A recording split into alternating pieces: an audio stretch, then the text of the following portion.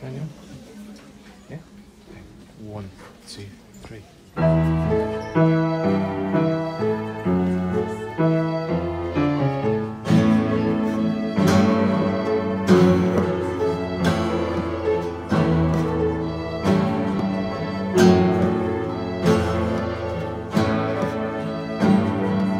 thank you